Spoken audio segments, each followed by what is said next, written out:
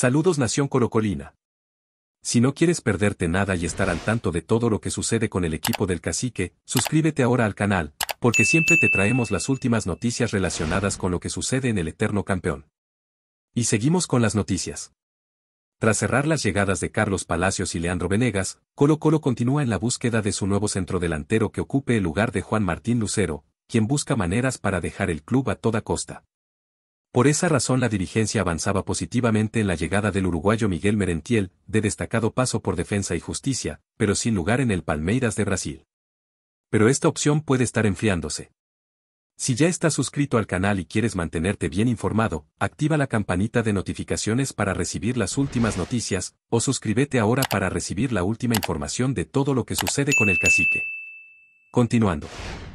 Pese a que el estratega había aprobado la llegada del Ariete Charrúa y se estaba muy cerca de lograr con acuerdo con el Verdao para su cesión, en las últimas horas le pidió a la gerencia deportiva que insistan por Javier Correa, actualmente en Santos Laguna de México.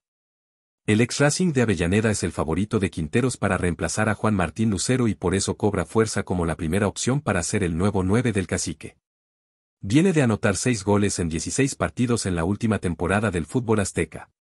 Algo que seduce al estratega es su gran experiencia defendiendo clubes grandes como fueron precisamente la Academia y también Olimpia de Paraguay. Habrá que ver si consiguen avanzar en la llegada del ariete de 30 años.